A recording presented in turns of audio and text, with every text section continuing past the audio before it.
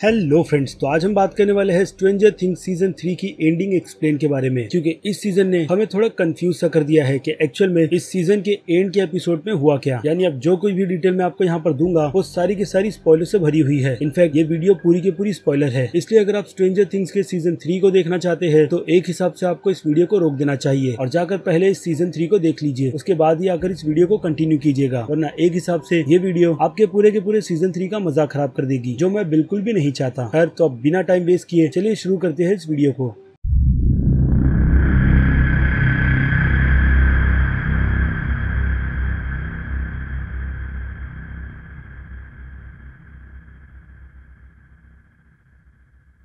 Well तो season two के end में हमने देखा था कि इलेवन ने अपसाइड डाउन के डोर को बंद कर दिया है और सिचुएशन पूरी तरीके से सॉल्व हो गई है। लेकिन अब सीज़न थ्री में काफ़ी ज़्यादा प्रॉब्लम भी क्रिएट हुई है। जैसे कि इलेवन ने अपनी पावर्स को खो दिया और दूसरी तरफ़ हॉपर भी मर गया है। और सबसे बड़ा चिंता का विषय है की अब सीज़न फोर में हमें अलग क्या दिखाया जाएगा। वेल तो सबसे पहले बात कर लेते हैं इलेवन की पावर्स के बारे में कि क्या इलेवन की पावर्स फिर से वापस आएगी भी या नहीं। क्यूँकी शो में भी इलेवन ने ये बात कंफर्म की कि उसकी पावर्स एक बैटरी की तरह है, जिससे रिचार्ज होने में थोड़ा टाइम लगता है। और हॉपर और माइक भी इस बात से एग्री करते हैं। लेकिन फाइनल एपिसोड के एंड में हमें दिखाया गया कि इस इंसिडेंट को होकर पूरे तीन महीने हो गए हैं और तीन महीने बाद भी इलेवन के पावर्स में कोई भी अपडेट नहीं आए हैं। क्योंकि हमने सीज़न थ्री के पूरे के पूरे एपिसोड्स में देखा कि इलेवन ने अपनी पावर्स को हद से ज़्यादा यूज़ किया, जिसकी चिंता खुद अब माइक को भी थी। लेकिन अब माइक इलेवन की पावर्स को लेकर बहुत ही ज़्यादा कॉन्फिडेंट है की उसकी पावर्स फिर से वापस आ जाएगी। बस उसे वेट करना है। लेकिन कुछ थियरीज की बात करें तो इस सीरीज़ के फ़ैन का कहना यह है कि इलेवन की पावर्स माइंड स्लेयर की वजह से गई है, तब जब माइंड स्लेयर ने इलेवन के पैर पर अटैक किया था, जिस वजह से इलेवन के पैर में माइंड स्लेयर के फ्लैश का एक टुकड़ा रह गया था और उसी की वजह से इलेवन की पूरी की पूरी पावर्स चली गई। लेकिन मैं ऐसा नहीं मानता, क्योंकि हमने फाइनल एपिसोड की उस फाइनल बैटल में भी ये देखा कि किस तरीके से स्टारकोट मॉल में इलेवन ने पूरी की पूरी कार्स को उठाकर उन रशियन के ऊपर फेंक दिया। यानी उस टाइम पर भी इलेवन के पास उसकी पावर्स थी, जहाँ पर इलेवन ने अपनी पावर्स को फिर से काफ़ी ज़्यादा यूज़ किया। और इसके पहले वाले एपिसोड यानी एपिसोड नंबर सेवन में भी इलेवन सीधे सीधे भिड़ गई माइंड स्लेयर से, और उस टाइम पर भी इलेवन की पावर्स कितनी ज़्यादा यूज़ हुई, हमने वो चीज़ अपनी आँखों से देखी। और दूसरा रीजन है कि इलेवन की पावर उसके इमोशन से कनेक्टेड है, जो जब भी अपने पास को याद करती, वो अपनी पावर्स को उतना ही ज़्यादा यूज़ कर पाती। और अब सीज़न थ्री में सिचुएशन पूरी तरीके से बदल गई, क्योंकि एपिसोड के एंड में इलेवन को विल का सेक्रीफाइस करना पड़ा, यानी वो उसे छोड़कर जा रही है। और दूसरी तरफ़ उसने अपने पिता हॉपर को भी खो दिया, जिनसे वो बहुत ही ज़्यादा प्यार करती थी। और अब दोनों ही चीज़ें इलेवन के करीब नहीं तो शायद ये चीज़ कहीं ना कहीं इलेवन के पावर्स को, वो कहते हैं ना चार्ज होने से थोड़ा रोक रही है। तो शायद हो सकता है कि जब लेवन को यह पता चल जाए कि एक्चुअल में उसके पिता हॉपर ज़िंदा है तो शायद ये खबर इलेवन के पावर्स को फिर से चार्ज करने में मदद करे। वेल तो अब आ जाते हैं हॉपर पर, जहाँ पर हॉपर और जोशी को ये ज़िम्मेदारी दी गई थी कि वो लोग टाइम पर मशीन को बंद कर कर या फिर उसे डिस्ट्रॉय कर कर अपसाइड डाउन के गेट को बंद कर देंगे। बट वहाँ पर पहुँचने के बाद सिचुएशन पूरी तरीके से बदल गई, जैसे कि हॉपर रशियन टर्मिनेटर के हाथों मार खा रहा था और उसे मार भी रहा था, जिसके दौरान हॉपर लड़ते हुए सीधे उस मशीन के पास पहुँच गया। और फिर ऊपर स्टार कोट मॉल की तरफ़, अगर टाइम के चलते डोर को नहीं बंद किया गया तो माइंड स्लेयर इलेवन को मार देता, क्योंकि पूरे के पूरे सीज़न थ्री को सिर्फ़ और सिर्फ़ लेवन पर ही फोकस कर कर बनाया गया था, क्योंकि ये जंग सीधे सीधे माइंड स्लेयर और इलेवन के बीच थी, क्योंकि लास्ट टाइम जब सीज़न टू के एंड में इलेवन ने गेट बंद किया था तो उस टाइम शेडो मॉन्स्टर ने सीधे सीधे इलेवन को गेट बंद करते हुए देखा था, जिसका एहसास उसे बिली की नज़रों से हुआ। इसलिए इस पूरे के पूरे सीज़न में माइंड स्लेयर ने प्रिपेरेशन की, ताकि इस बार जब उसका सामना इलेवन से हो तो इलेवन उसे कोई भी एंगल से हरा ना पाए, और सीज़न थ्री के एंड में कुछ वैसा ही हो रहा था, लेकिन जॉयसी ने यहाँ पर हॉपर के कहने पर अपसाइड डाउन के गेट को बंद करने के लिए उस मशीन को डिस्ट्रॉय कर दिया, जिसके चलते हॉपर भी वहाँ मारा गया और इस इंसिडेंट को पूरे के पूरे तीन महीने हो गए। लेकिन देखा जाए तो जिस तरीके की मौत हॉपर की दिखाई गई है आई मीन हॉपर की डेड बॉडी वहाँ पर मिली नहीं। यहाँ तक की हॉपर को दूसरे रशियन साइंटिस्ट की तरह ब्लास्ट होते हुए भी दिखाया नहीं गया, जिसकी खुली खुली इंडिकेशन है की हॉपर अब भी ज़िंदा है। तो चलिए सबसे पहले गैस ये करते हैं की हॉपर इतनी बुरी सिचुएशन से बचकर कैसे निकला। वेल तो जिस टाइम पर जोशी ने उस मशीन को शट डाउन किया था तो उस टाइम पर स्क्रीन को कुछ टाइम के लिए ब्लैक कर दिया गया था। तो शायद हो सकता है कि ये वो टाइम है जिस टाइम पर हॉपर वहाँ से बचकर निकल गया। क्योंकि अगर आप ध्यान दो हॉपर और उस टर्मिनेटर रशियन की फाइट के बीच, जिस दौरान हॉपर ने उस टर्मिनेटर रशियन को उस मशीन के अंदर फेंका था तो एक अजीब सी लेयर बन गई थी। ये लेयर शायद कहीं ना कहीं हॉपर को बचाने में कामयाब हुई है। या फिर ऐसा भी हो सकता है की जिस एंगल से हमें ये मशीन दिखाई गई है, जहाँ पर उस टाइम पर हॉपर खड़ा है तो वहीं पर हमें एक स्टेयर्स भी नज़र आती है। तो शायद हो सकता है की इसी की मदद से हॉपर इस सिचुएशन से बचकर निकलने में कामयाब कामयाब हुआ। क्योंकि अगले ही सीन में जब वो मशीन पूरी तरीके से ब्लास्ट होती है तो हमें वहाँ पर हॉपर उस सिचुएशन में खड़ा हुआ नज़र बिल्कुल भी नहीं आता है। लेकिन अब दूसरा सवाल ये, कि अगर हॉपर उस सिचुएशन से बचकर निकल गया तो फिर हॉपर तीन महीने के लिए कहाँ चला गया? वेल तो इसके दो रीजन हो सकते हैं। एक ये, कि हॉपर नहीं चाहता कि वो अभी अपने परिवार वालों के सामने आए। यानी जब तक उसे ये नहीं पता चल जाता कैसे और कितने गेट्स है जिन्हें बंद करना बहुत ही ज़्यादा इम्पोर्टेंट है, यानी एक अलग ही मिशन या फिर ऐसा भी हो सकता है कि हॉपर उस स्टेयर्स की मदद से सीधे अपसाइड डाउन की दुनिया में पहुँच गया, जिस वजह से वो यहाँ से कहीं और टेलीपोर्ट हो गया, यानी सीधे रशिया के काम चटका बेसिस में, जिसकी शुरुआत इस सीज़न के स्टार्ट से की गई और खत्म भी इसी लोकेशन को दिखाकर किया गया। तो इसकी पॉसिबिलिटी ज़्यादा है कि हॉपर फ़िलहाल तो रशिया के उसी बेस में है, क्योंकि आपको याद होगा कि एलेक्सी ने ये बात कंफर्म की थी कि ऐसे सिर्फ़ एक ही गेट नहीं है, यानी और भी गेट्स है, जिनकी पूरी की पूरी डिटेल हमें सीज़न थ्री के एपिसोड में दी नहीं गई। बस सीज़न थ्री के एंड के पोस्ट क्रेडिट सीन में रशिया की एक लोकेशन दिखाई गई, जिस लोकेशन पर हमें अपसाइड डाउन का गेट नहीं, बल्कि डेमिगॉर्गन दिखाया गया, जिसे वहाँ पर किसी टेस्ट सब्जेक्ट लिए रखा गया है। और डेमिगॉर्गन की हिंट हमें सीज़न थ्री में ही देखने मिली थी, जिस टाइम पर एरिका ने डस्टिन से डेमिगॉर्गन के बारे में पूछा था, और वहाँ पर हमें डेमिगॉर्गन की ही साइज़ की एक बड़ी सी केज भी नज़र आई थी, जिसमें शायद डेमिगॉर्गन को रखकर यूएस से सीधे रशिया शिफ्ट किया जाना था। तो शायद उन डेमिगॉर्गन को शिफ्ट इसी पोर्टल की मदद से किया जा रहा था। लेकिन अब उस पोर्टल में सीधे सीधे हॉपर फंस गया है, और इसीलिए सीज़न एंड के उस पोस्ट क्रेडिट सीन में दी अमेरिकन का ज़िक्र भी हुआ, और पूरे के पूरे सीज़न थ्री के एपिसोड में अगर रशियंस ने किसे अमेरिकन कहा है तो वो सिर्फ़ और सिर्फ़ हॉपर ही है। क्योंकि जब अपसाइड डाउन का गेट बंद हो रहा था तो हॉपर ने उस गेट को बंद होते हुए देखा था और उस टाइम पर ही हॉपर के दिमाग की बत्ती जली होगी कि वो यहाँ से सीधे जंप कर कर उस गेट के अंदर पहुँच जाए। क्योंकि यही एक वो रास्ता है जिसके कारण वो बच सकता है। क्योंकि हॉपर अपसाइड डाउन की दुनिया में पहली बार नहीं जाएगा। इसके पहले भी हॉपर जॉयसी के साथ अपसाइड डाउन की दुनिया में जा चुका है। तब जब वो लोग विल को वहाँ पर उस दुनिया में ढूँढने गए थे, यानी हो सकता है कि हॉपर ने कहीं ना कहीं एक छोटे से ओपन गेट को देख लिया, जिसकी मदद से वो उस गेट से निकलने में कामयाब हुआ। ठीक लेवन की ही तरह, जहाँ पर लेवन भी अपसाइड डाउन की दुनिया से उस छोटे से गेट में से ही बाहर निकली थी। लेकिन विल अपने टाउन की जगह सीधे रशिया पहुँच गया। क्योंकि सीज़न थ्री के स्टार्ट में ही हमने देखा था कि रशियंस के हाथ भी कुछ ऐसा ही फॉर्मूला लगा है, जिस फॉर्मूले से वो लोग अपसाइड डाउन के गेट को खोल सकते हैं। लेकिन एक साल पहले वो लोग इस एक्सपेरिमेंट में फेल हो रहे थे। बट एक साल बाद शायद उन्हें कोई ना कोई क्लू मिल गया होगा, जिसके कारण रशिया में भी अब अपसाइड डाउन की दुनिया का गेट खुला हुआ है। या फिर ऐसा भी हो सकता है कि हॉपर जिस टाइम में वहाँ पर बाहर निकला है, वो टाइम सीज़न में दिखाए गए स्टार्ट के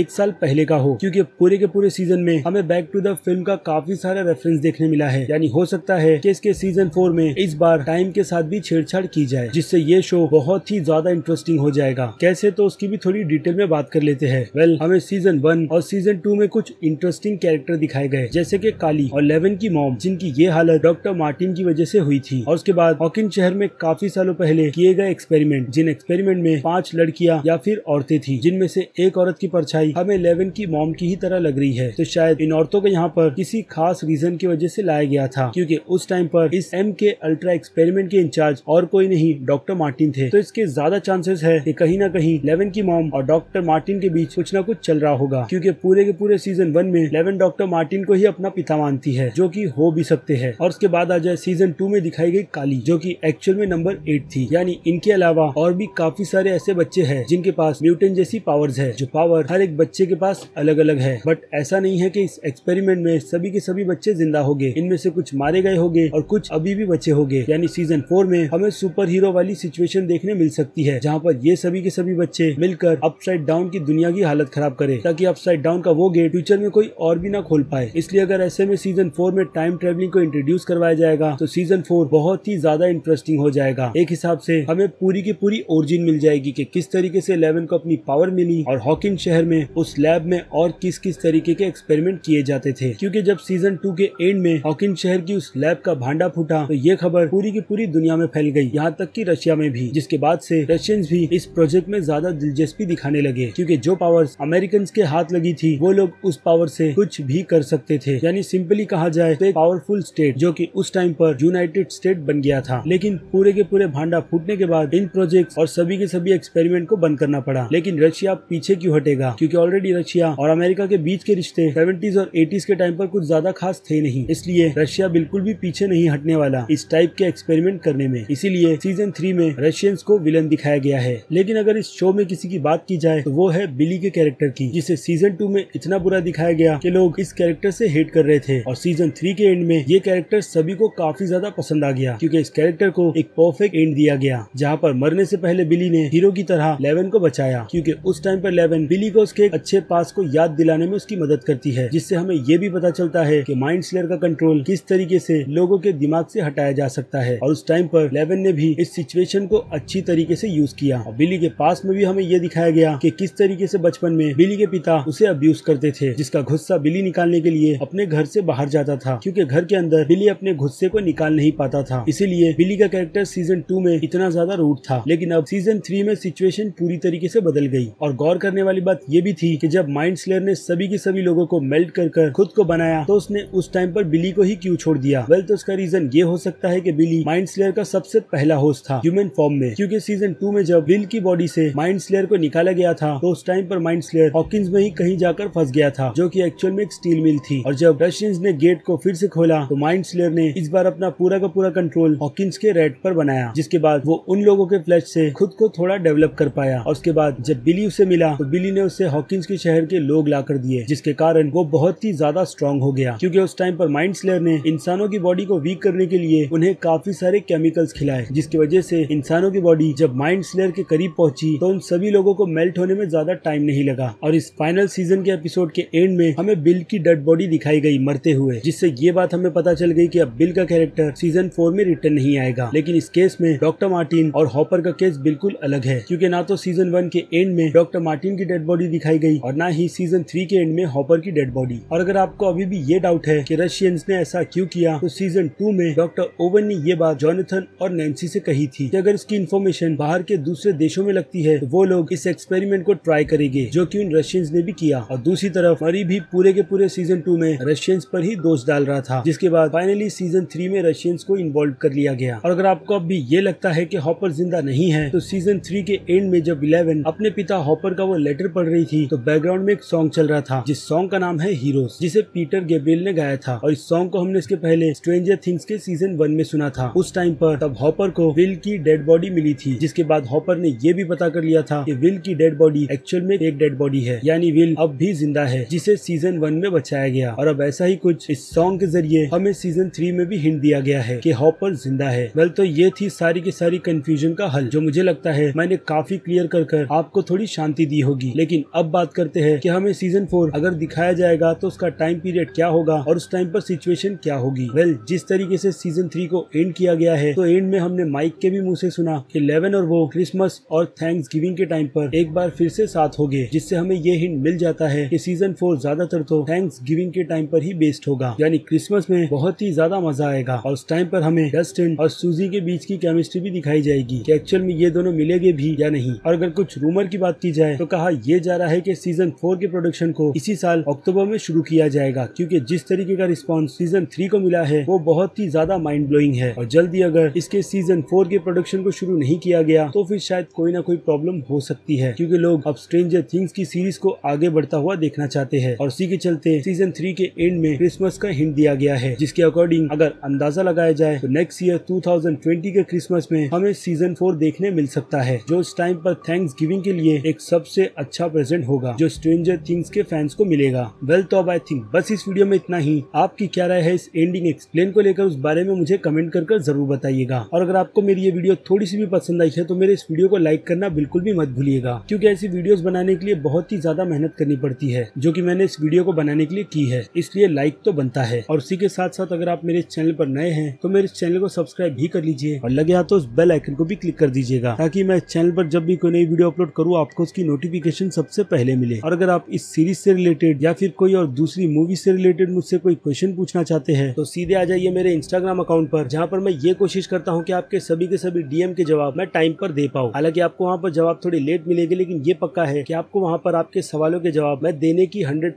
कोशिश करूँगा। और इस चैनल के अलावा मेरे दो और चैनल है, एक है द मूवी स्टॉक शो और दूसरा मूवी स्टॉक मूवी एक्सप्लेन जहाँ पर मैं हॉलीवुड और कुछ बॉलीवुड फ़िल्मों की एक्सप्लेनेशन करता हूँ। खैर तो अब मिलते हैं आपसे अगले वीडियो में। Till then bye